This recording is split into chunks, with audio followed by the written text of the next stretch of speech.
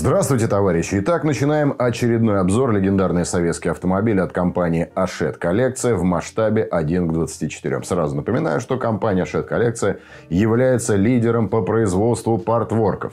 Что такое партворки? Ну, собственно, мою отмазку вы всегда знаете. В интернете смотрите. Сегодня у нас номер с журнала 49. Это ГАЗ-14 «Чайка» так сказать, второго поколения. Я уже говорил, что отечественные э, представительские автомобили я немного недолюбливаю. Не знаю, с чем это связано. Просто какой-то внутренний э, такой социалистический, социалистическое отторжение э, социалистической вычурности. Вот как я завернул. Ну, бывает такое, не знаю. При том, что они мне нравятся, но я их недолюбливаю. Вот такое вот. Люблю, не люблю. Ну, по настроению, может быть. Монументальный автомобиль. Как я уже говорил, второе поколение «Чайки». Первый был ГАЗ-13 в таком в космическом стиле. Все вытянутое, ракетное. Очень напоминал американские автомобили. Никто не скрывал, что данная машина была построена с оглядкой на мировой автопром, в первую очередь американский. С этим же автомобилем получилось немножко все по-другому.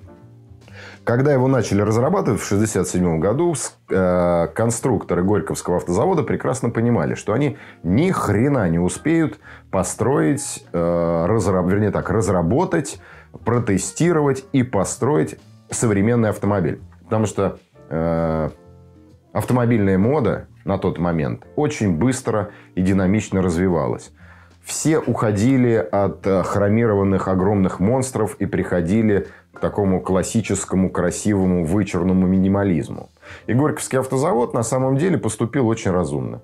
Они создали автомобиль, который был вне времени и на протяжении всего выпуска, а это сейчас я подсмотрю, 77 по 88 год, да и сегодня он выглядит очень современно и стильно. Ну, конечно, не очень современно сегодня, но то, что стильно, мы в этом даже не будем сомневаться. Первое, что сделали э, конструкторы – они немножко растянули базу «Чайки», потому что все-таки в основе лежал ГАЗ-13. А, ну, немножко растянули это буквально, по-моему, на 200 миллиметров, если я не ошибаюсь. Может быть, там меня поправите. Сделали машину более низкой. И это была большая проблема, а, потому что, опять же, многие узлы агрегаты были чайковские, доработанные, но все равно чайковские и убрали практически все вычурные элементы. То есть, если вы присмотритесь, это плоские панели, закругленные углы, но не вычурные. Стилистика потрясающая. Я честно скажу, что если брать из моих нелюбимых правительственных автомобилей, это один из 111 и ГАЗ-14. Вот, наверное, самые красивые машины того периода. Опять же, на вкус и цвет товарища нет, мы же понимаем. Ну, давайте рассмотрим машинку. Что мы видим в первую очередь? Это, хоть и пишут, что это семиместный салон, но мы прекрасно понимаем, что это автомобиль для комфортного передвижения все-таки максимум четырех человек. Хотя есть два дополнительных места, а их видно сзади с очень, очень интересным названием «Старпантены». Заднее сиденье – это фактически диван, разделенный пополам со своим подлокотником – посередине выдвижным, справа-слева тоже массивные подлокотники. Причем в правом, если мне память не изменяет, находился пульт дистанционного управления э, магнитофоном. Данные машины уже, естественно, с завода комплектовались или по-моему, эстонскими радиоприемниками и э, магнитофонной декой. Одна, одна эстонская, по-моему, была, вторая была Blue Punkt. Я не знаю, с чем связана комплектация, наверное, по принципу, что было, то и ставили. Но э, задний пассажир, у него было приоритетное переключение и радиомагнитофоном. Также салон разделен пополам перегородкой. Здесь находится климатическая двухзонная установка, которая создавала микроклимат для впереди сидящих пассажиров и для сидящих сзади. Также поднималось стекло. Мы видим, кстати, очень хорошо видны ручки. Вообще, проработка заднего места очень хорошая. То есть, что на дверных картах массивные подлокотники э, с мощными ручками для удобства, так сказать, посадки-высадки. Сзади тоже присутствуют дополнительные ручки, правильно спрофилированное сиденье, то есть профиль сиденья очень хорошо виден.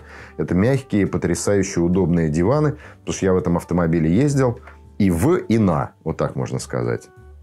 А, что касается передних Э, пассажиров правильный цвет сидений, хороший подлокотник. В подлокотнике, опять же, на автомобилях представительских находилась или Алтай, э, телефон или спутниковая связь Кавказ. Ну, опять же, в зависимости от ранга владельца данного автомобиля. Не владельца, а наездника, чью задницу он возил.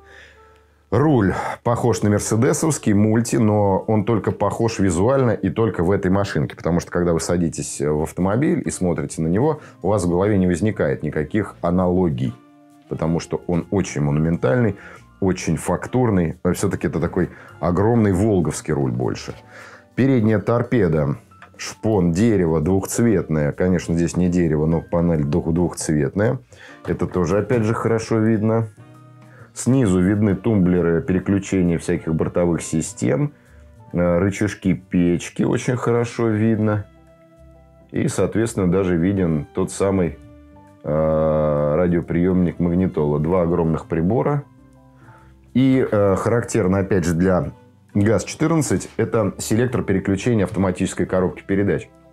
Он уже находится в привычном нам месте, с правой стороны, между сиденьями. Потому что на предыдущем автомобиле ГАЗ-13 «Чайка» кнопки находились, кнопки переключения, кнопки переключения находились с левой стороны э, от руля. Ну, это такой чистый американизм. И, опять же, никто никогда не скрывал, на что ориентировались создатели данного автомобиля.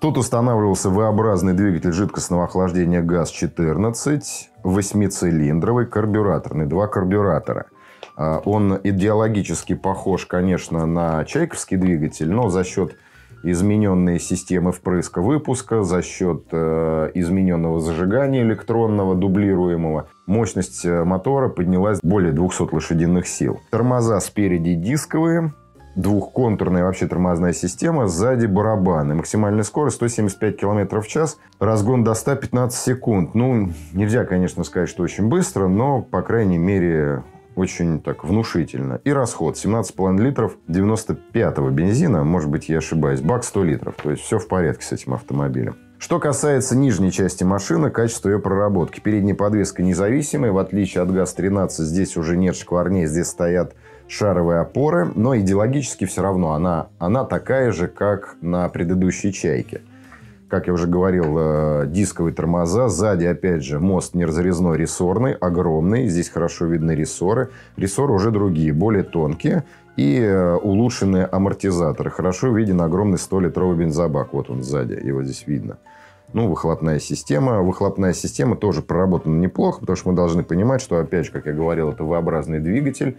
Э, здесь, то есть, выхлопная система идет с двух сторон. А здесь тоже видно слева и справа банки глушителей правое зеркало находится на крыле. И поверьте мне, я все-таки, опять же, как повторю, я ездил на данном автомобиле, что именно такое расположение зеркала позволяет как бы лучше чувствовать дорогу. Хотя, честно скажу, когда вы едете на таком автомобиле, в правое зеркало смотреть, ну, абсолютно бессмысленно. Вот честно. Вот, вот положа руку на сердце. Нет смысла смотреть, потому что когда ты едешь на этом автомобиле, все от тебя шарахаются, даже сегодня. Но из уважения больше. Никакого страха, конечно, нету, но дорогу тебе уступает. В первую очередь, хотя бы, чтобы посмотреть, что за ведро тут проезжает такое длинное и черное.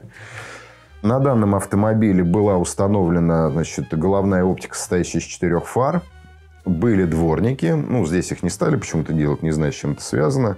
Осталась передняя хромированная решетка. Вот эти вот всем знакомые желтые э, противотуманные фары в хромированном бампере. Задняя часть тоже монументальна. Кто-то скажет, похоже на Мерседес, а я скажу ничего подобного. Просто мода была такая, и вот эти блок-фары, ну, было модно. Поверьте мне, машину разрабатывали 67 67 по 77 год. Тогда Мерседес просто валялся где-то там, ну, не валялся, конечно, я утрирую, но он тоже разрабатывался еще не выпускался всеми знакомый нам Мерседес. Машину выпускали до 88 года. И что, опять же, интересно, параллельно до 81 года выпускали ГАЗ-13 «Чайку». Выпускали ее до того момента, пока формы, пресс-формы не были просто уже разломаны. Ну, такие вот ребята экономные. Данный автомобиль собирали в Нижнем Новгороде, а, в так называемом ПАМСе, производственный отдел а, малых серий по-моему, так расшифровывается. Это отдельное подразделение в Нижнем Новгороде, где машины фактически собирались вручную. При создании этого автомобиля использовался только ручной труд. То есть, это такой э, Rolls-Royce советский. Хотя, ну, честно говоря, все советские автомобили так собирались. Но здесь была технология немножко другая. То есть, сначала его собирали полностью, выстукивали, э, складывали, потом смотрели, что все криво, опять разбирали, опять собирали. Э, оцинкованный кузов, эти машины практически не гниют. По причине того, что, как и на Победах, как мы помним, как и на Волгах 21-х, все неровности выводились не с помощью шпаклевки, а с помощью олова. То есть, чтобы зазорчики были прям как надо, их подгоняли с помощью олова. Поэтому, собственно, вечный кузов. Но крыло от этого автомобиля не подойдет к крылу от другого автомобиля. И реставрация данных машин – это действительно гиблое дело. Но если не вы не очень э, их любите, и у вас не очень много денег. Как я уже говорил, разработка автомобиля затянулась на десятилетия, и серийное производство началось, мелкосерийное производство началось в 1977 году, но самый первый ГАЗ-14 был выпущен в 1976 году и был передан генеральному секретарю КПСС Леониду Ильичу Брежневу в качестве подарка на 70-летие. И на тот момент это был единственный автомобиль, да вообще единственный, но еще он был окрашен в вишневый цвет. Все остальные лимузины, как вы видите, имели радикально черную раскраску. И раскраска, между прочим, это была тоже очень интересная, потому что когда собирались автомобили, их отправляли на полигоны, они дубасили и в НАМИ, и по дорогам Нижегородской области, их гоняли и по бездорожью, потом возвращали назад на завод, протягивали всю ходовую, что-то меняли, а сам кузов еще раз докрашивали, полировали и лакировали.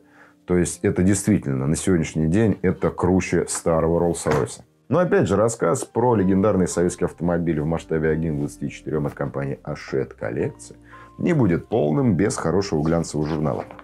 Как всегда, статья про создание данного автомобиля с красивой компоновочной схемой. Далее идет у нас персональная машина эпохи застоя. Здесь рассказывается о том, что в 90-м году пытались возродить производство ГАЗ-14, но не смогли этого сделать по причине того, что почему-то не было проектной документации. Я не знаю, с чем это связано. Может быть, прочитав журнал, потому что я его не читал, естественно, ребят. Вот, может быть, найдете ответы на эти вопросы. Ну и рассказ про Георгия Моисеевича Вассермана. А кто он такой, будете читать в журнале. Сразу же, не отходя от кассы, анонс следующего 50-го и заключительного в этом году номера про Иш Комби. А он у меня уже есть. Вот. Про Иш Комби. Вот так вот. И у меня сразу просьба, парни, у кого в Москве или ближайшем Подмосковье есть иш-комби, желательно ранний, вернее, даже не желательно, а обязательно ранний, потому что он очень сильно отличается от поздних ижей, или поздний комби, но в очень хорошем, очень-очень хорошем состоянии, напишите мне в комментариях, и я с удовольствием приеду его сниму, потому что в моей коллекции тех автомобилей на YouTube, его нет. Ну, нету в большом формате, хочется переснять и ранний, и поздний, потому что на самом деле они достаточно сильно отличаются по отделке. За всем решите откланяться. С вами был ваш дядя Ваня. Всем удачи. В общем, теперь, племяннички, вы у меня есть. Все, пока.